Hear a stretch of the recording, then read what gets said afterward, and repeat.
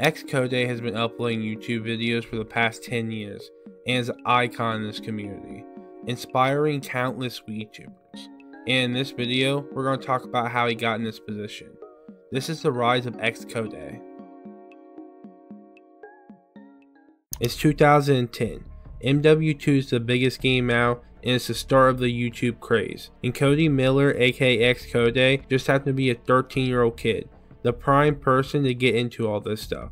And seeing people on YouTube like Hutch, White Boy 7 Street, and Boys Gamertag will get XCodeh inspired to become a YouTuber. Seeing how these people can just sit there and talk about anything and make it entertaining, this will get XCodeh to invest in equipment, getting the Dazzle HD recorder, which was a step above most videos on the platform. But XCodeh would take it a step further.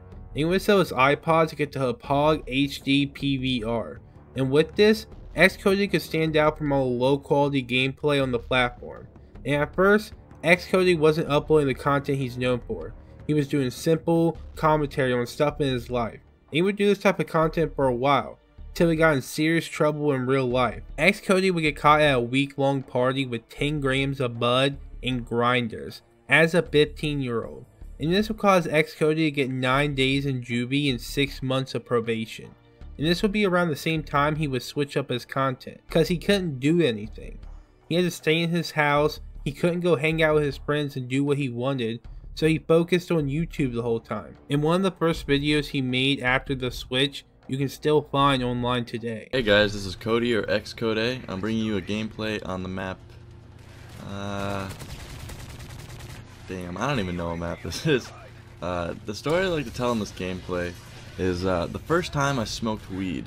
Um, I, I, I know, well, if any of you subscribers have been watching my videos lately, then you know that I'm on house arrest right now, and I just recently got arrested, so I can't smoke weed. And uh, I don't know. I've been thinking about it. I'm not. I, would, would be lying to you guys if I said I didn't miss it, but um, I don't know. I just thought I'd share. I'd share you the the first time I ever smoked weed because it was it's kind of a funny story. So, um, the first time I ever smoked weed, uh, I think I don't even remember why I got it. I, am not gonna drop any names anyways. So um, so I had it, and it was I think it was like the first day or no, the last day of eighth grade.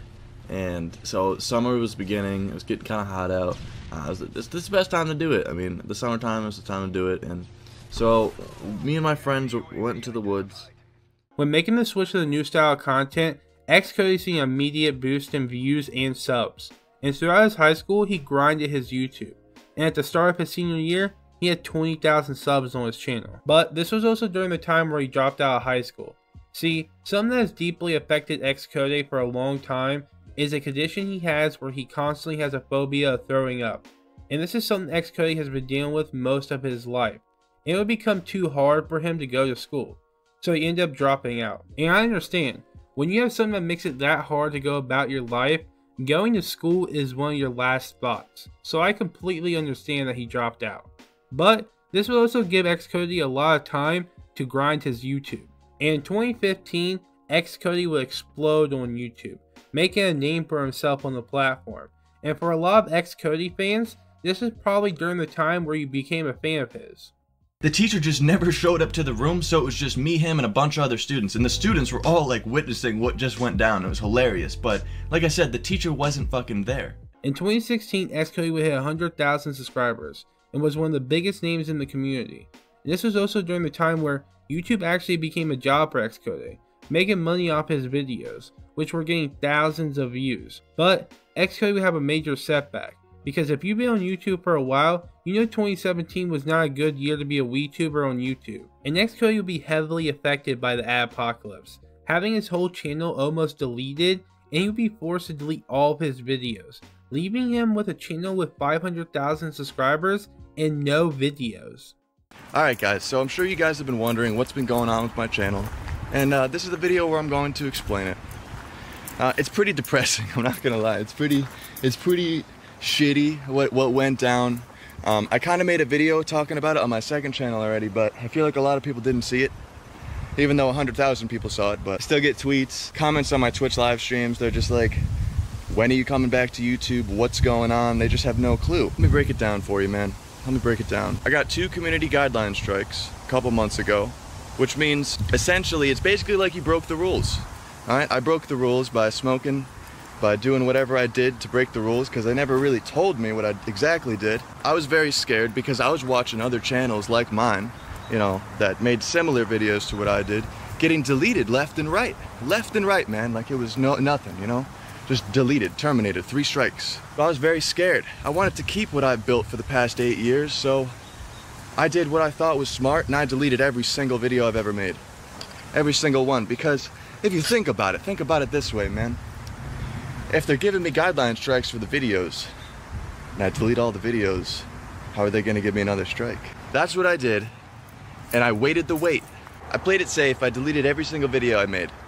Um, which was, it was very difficult to do, man, you know, really, I was really upset, you know, for a lot of days about that shit. Months, you know, I've been really depressed about the entire thing the past couple couple months because it, it, it got to a point where I did the same thing every day, you know, eight years I made a video. Um, well, not every day, obviously. You know. I pretty much did the same thing every day, whether that be make, you know, record a part for a video and edit it, take a couple days to edit. You know, I've been a YouTuber for the past eight years, and when it got to like, it got to the point where I just couldn't do what I did all those years. It just, it, it really sucked because number one, the main reason is because I, when I get, you know, when I get people telling me that my videos help them get through things, and then when I can't do that, when YouTube takes that away from me, it, it was just, it was really unfortunate, man. It really, really was. Um, but then again, I wanna, I wanna go to this. I wanna go, I wanna go to this part of the video because a lot of people are like, fuck YouTube, they're the worst. Listen, man, it, I knew from the day that I started this, the day that I started this, that this could happen one day. Um, and it realistically, they could have gone about it in a better way. But realistically, it is my fault. Okay, I'm not trying to say, you know, it's it's their rogue, backward ass, mean. You know, YouTube's just being mean. It's not like that. It's just I broke the rules. They want to clean up the platform, and I just follow under the category of people they don't want. So, yeah. So we're gonna make the return to YouTube. We're gonna make these kind of videos. We're gonna make sit down at home videos. I'm gonna tell stories. I'm gonna make vlogs. I'm gonna make P.O. box unboxings. Link in the description or address in the description. Send me something cool, bro. It's been a while, all right? Hopefully my camera's in the right setting and everything. Hopefully you can see my face. I'm gonna put this in the video regardless of if it looks good or not. I'm, I'm, I'm really hoping it's gonna look good. Yeah, so I'm gonna have to come back and I'm not gonna be able to smoke in videos anymore. And I get it. I get it that custom grow, raw OG, there's a whole bunch of people that are that are devil's lettucing it up. All right, I get it. I get it. Can I just just look at this? Just looking up at that. Look at the greenery. Amazing. You guys want to see the whole guardrail spot?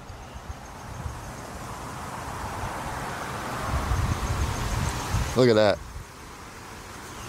I get that they're doing it. They're just immune. I don't get it. All right, I don't fucking get it. They're risking getting guideline strikes every single day I don't get it.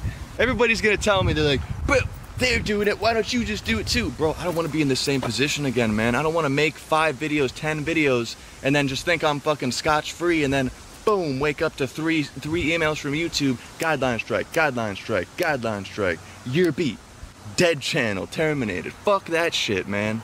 Fuck all of that. Demonetized for swearing. Will I ever make smoking videos again? Sure.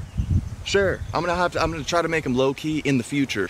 I don't know, it's gonna be really difficult to, to really gauge out, figure it out, uh, what I can and can't do because YouTube will never make a statement about what weed tubers can do. And I don't really have a huge problem with not smoking in videos. It's just a lot different than everything I've done in the past eight, you know, couple years. I've just made these kind of videos, but we're gonna figure it out. We're gonna have a good time. After having his YouTube channel face deletion, XCodeh would be forced to start fresh. But you have to do this in a different way. See, a lot of XCodeh's videos after the scare don't show consumption. He's simply just talking about it, which YouTube lets slide by. And this change didn't do anything to his views. If anything, it put him in the algorithm, which allowed him to get multiple videos with millions of views. And as of today, he's climbed to 900,000 subscribers and is probably going to be the next WeedTuber with 1 million subscribers, which not many do in this space. XCodeh is one of the biggest WeedTubers to ever do this, and has helped inspire countless people to become a WeedTuber. And he did all this while having so many setbacks and still being on top. And to me, that makes XCodeh one of the GOATs. But I want to know what you think. And until next time, peace!